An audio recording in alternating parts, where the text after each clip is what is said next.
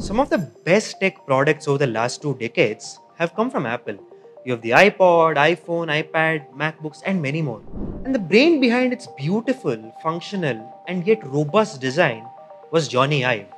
And this man is now teaming up with the creators of ChatGPT. Say hello to IO, a new AI hardware startup unveiled by Sam Altman and Jony Ive. It promises to redefine how we experience AI in our daily lives. So this isn't just going to be another AI startup, but it's a reimagination of what a device can be. Something that's designed not to dominate your attention, but to disappear into your world. And this announcement marks the next phase of a two-year collaboration between Jony Ive's design firm Lovefrom and OpenAI. This began as a private exploration and has now culminated into a formal merger because OpenAI will acquire Jony Ive's startup for nearly $6.5 billion as reported by Bloomberg. And this purchase is OpenAI's largest to date and this gives the company a dedicated unit focused on developing AI-powered devices. So what exactly is I.O. and why is it getting so much buzz? Computers are now seeing, thinking and understanding. Despite this unprecedented capability, our experience remains shaped by traditional products and interfaces said Sam Altman and Jony Ive.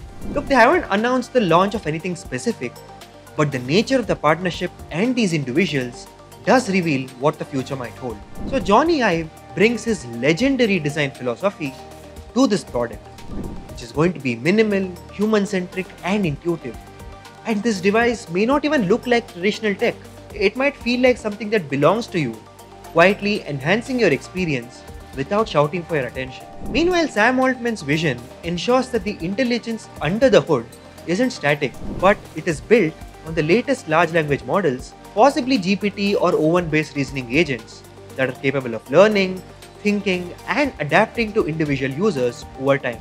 And this won't just be a chatbot on your wrist or your phone or any screen, it can be the beginning of a true personal AI companion. Yes, I know we've seen many other attempts like the Humane AI Pin, Rabbit R1, and even Meta smart glasses with Ray-Ban.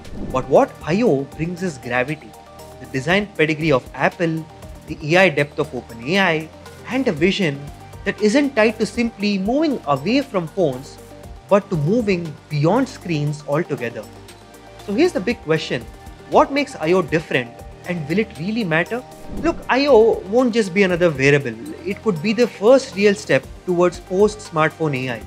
Because for years, we've relied on devices that demand our attention, constant notifications, endless scrolling, dozens of apps, and I.O. might just flip that script.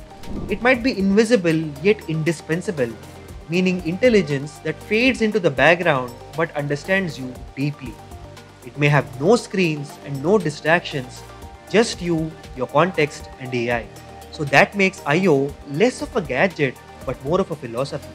Now, of course, the success of I.O. will depend on many things, which is battery life, privacy, pricing, and whether it truly enhances your daily life in some capacity.